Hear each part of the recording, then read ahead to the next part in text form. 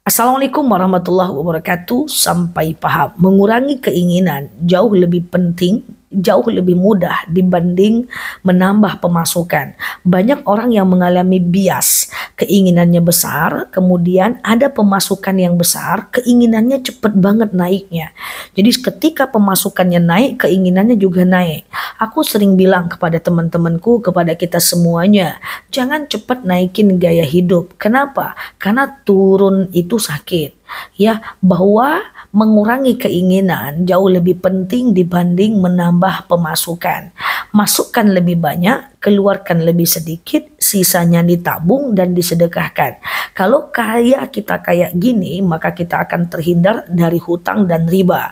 Kenapa kita selalu terkena hutang dan riba? karena keinginan lebih besar dibanding pemasukan. Makanya berhenti membandingkan diri dengan nasib orang lain. Kenapa? Karena takdir ekonomi itu nggak semuanya sama. Nikmati apa yang ada, jangan tanya apa yang nggak ada. Ya jangan terlalu memaksakan diri untuk memiliki apa yang dimiliki orang-orang lain.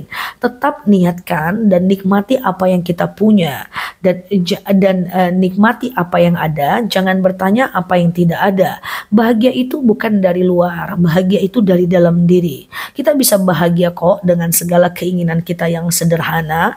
Kita bisa bahagia kok dengan keterbatasan kita. Kita bisa bahagia kok dengan apa yang kita punya. Selagi kita mencari kebahagiaan dari luar, maka itu akan bias. Dia akan bias. Dia hanya fata morgana saja. Dia cuma kebahagiaan yang sementara saja yang tidak akan bertahan. Maka munculkanlah kebahagiaan dari merasa cukup dengan apa yang ada. Jangan bertanya apa yang tidak ada. Boleh cari lebih banyak tapi keinginan tetap segitu-segitu aja. Ada masanya keinginan itu naik jika sudah pada waktunya. Terima kasih telah menemani. Noloki di sini like, subscribe, share video saya ini, follow kanal saya ini dan sampai paham. Assalamualaikum warahmatullahi wabarakatuh.